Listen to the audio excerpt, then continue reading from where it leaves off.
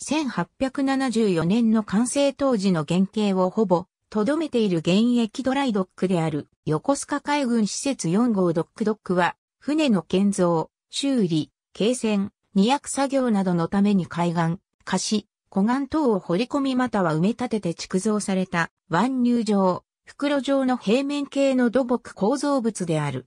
また、同様な目的の付帯構造物である浮きドックも含まれる。選挙とも言う。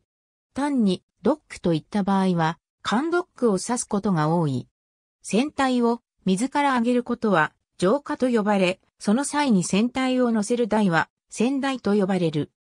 二役用ドックは、潮汐による干満差の大きな港湾に設けられ、満潮時に船をドック内に入れてから扉を閉じて、水を閉じ込めておき、干潮時にも船底がつかないようにして、船を安定させた状態で岸壁につなぎ止めて、旅客の乗降や貨物の積み下ろしを行うドックである。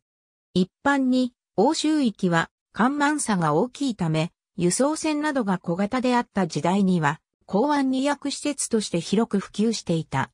軽船ドック、軽船居、室、ドック、ウェットドックなどは、同様や類似のものである。川崎106ページ200用ドックに由来する地名が残るものとして、ロンドンのドックランズがある。川崎88の89ページ。ありがとうございます。